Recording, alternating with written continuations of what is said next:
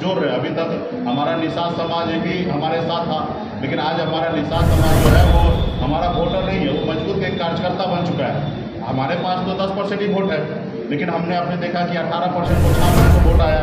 तो ये मान लीजिए कि दूसरे जाति धर्म के लोगों का भी बड़े संख्या में हमारे पास वोट आया, और उसमें हर जाति धर्म के लोग हैं। इसी तरीके से पूरे प्रदेश में ये ताकत हम लोग बनाएँगे, और इसके लिए संगठन मज़बूत कर रहे हैं। कौन कौन से मुद्दे पे आप ये लड़ाई देखिए, मुद्दा यही है कि हम लोग गरीब समाज से आते हैं।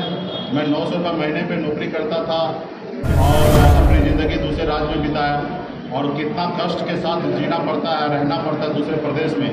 वो नहीं चाहेंगे कि हमारे आने वाला पीढ़ी, जो अपने प्रदेश को छोड़कर दूसरे प्रदेश में जाके रोज़गार करे, वो उसको अपने प्रदेश में रोज़गार मिले। तो हम चाहेंगे युवा के लिए बिहार में बेहतर विकल्प हो, सरकार अच्छा काम करे, यहाँ पे बड़े बड़े इंडस्ट्री लगे और बिहार में उनको रोज़गार मिले, ये सबसे बड़ा मुद्दा होगा। और दूसरा है कि जिसका आवाज़ जिला मुख्यालय तक नहीं पहुँचता, पटना तक नहीं पहुँचता, ऐसे लोगों को चिन्हित करें उनकी आवाज़ को जिला लेवल पर पहुँचे, उनकी आवाज़ पटना तक पहुँचे और पटना तक मालिक बने, ना ही की आवाज़ पहुँचाए। जिस तरीके से हम लोगों ने दूसरे के पीछे घूमते रहे। हमारी आवाज़ जिला तक नहीं पहुँचता था, पटना तो दूर की बात है, लेकिन हम संघर्ष किए जागरूक हुए तो हमारी आवाज़ जिला नहीं, पटना तक पहुँचा ही नहीं, पटना में मालिक बन गए। हमारे पास चार विधायक था, वो चार चौहत्तर से कम नहीं था।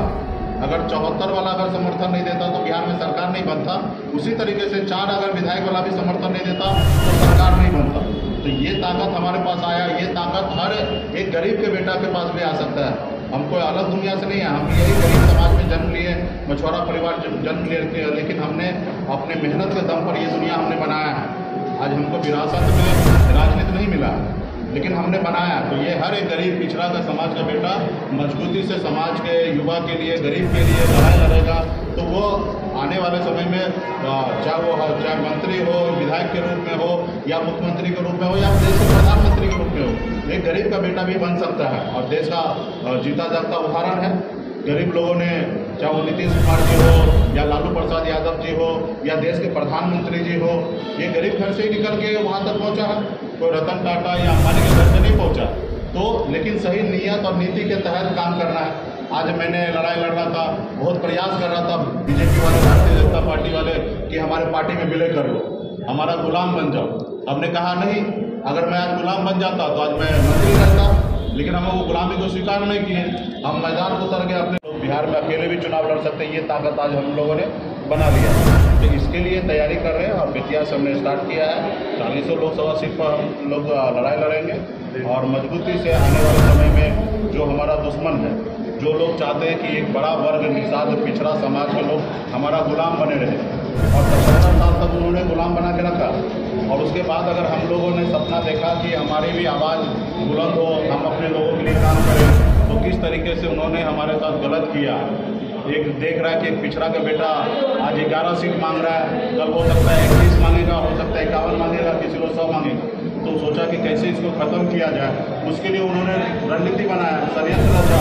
और हम लोग उस षडयंत्र और रणनीति का हम लोग विरोध करेंगे और आने वाले समय में हम लोग अपने दम पर खास करके जो हमारा दुश्मन है, उनको हम लोग आने वाले समय में बताएँगे कि उनका जो भी रणनीति रहा, वो गलत रहा और खास करके गरीब पिछड़ा का बेटा अगर अपने पैर पे खड़ा हो रहा तो उसको रोकने का काम किया तो उनको आने वाले समय में हम लोग जवाब देंगे। इसके लिए बेतिया लोकसभा सीट का स्पेशल हम लोग तैयारी कर रहे हैं। और हर हाल में ये मान लीजिए, ये सीट हम लोग लड़ेंगे।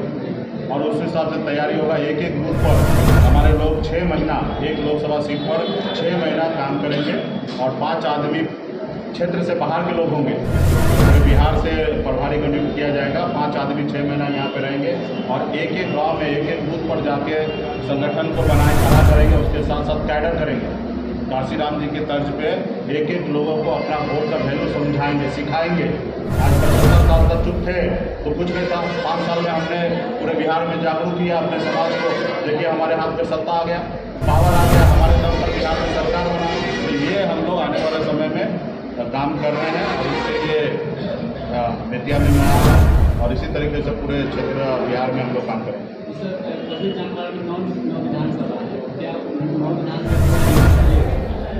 ये 2025 का चुनाव में का समय अभी नहीं है। अभी हम 2024 की बात कर रहे हैं। और 24 में हम लोग मैं 40 से 40 लोकसभा सीट तैयारी कर रहे हैं। और ज़ाहिर सी बात है बिहार में देखा जा रहा है कि गठबंधन की राजनीति अकेले आप हरा सकते हैं, लेकिन जीत नहीं सकते हैं। शायद सौ जगह लड़िएगा, दस जगह जीत जाइएगा। लेकिन इससे भी हमारा जो सपना वो पूरा नहीं होगा।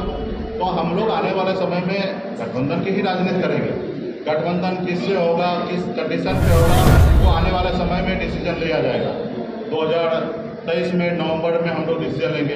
अभी तो हम अपने आप को मज़बूत हो जो हमारी ताकत है, जो हमारे वोट बैंक है, जो हमारे विचार से चलना चाहता है, जो हम लड़ाई लड़ रहे कि अति पिछड़ा को पंद्रह परसेंट आरक्षण बढ़ाया जाए।